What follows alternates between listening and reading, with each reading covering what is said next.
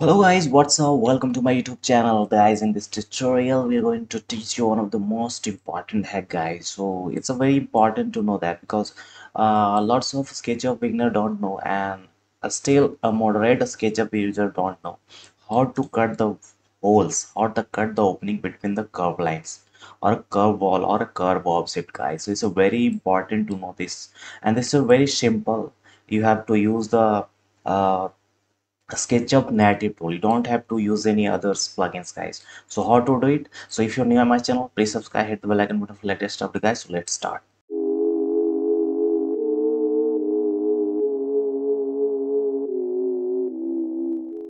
So suppose, guys, this is your curve wall. Okay, guys. Okay, this is our curve wall, and your curve wall must be in a group. Okay, so first create a wall, and any wall that you want to cut out must be solid and a uh, in a group. Okay so I make it in a group. And I'm going to uh, press R and I'm going to lock a green axis over here guys. So I want to cut this window at this point guys. Okay at this point.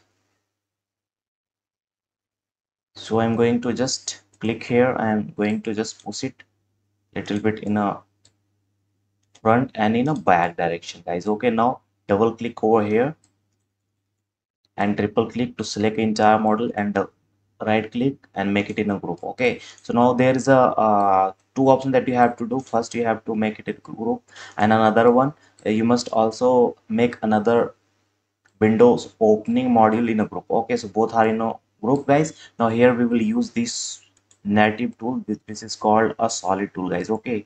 So after uh, doing this both things you have to click over here. This is called a split option. So when you click here you have to click over here and then click over here okay?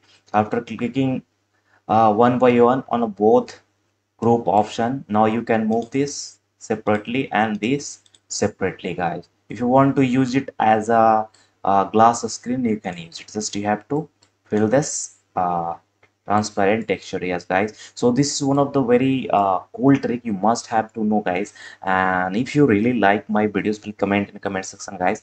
And please share and subscribe. And thanks for watching. See you next tutorial guys. Thank you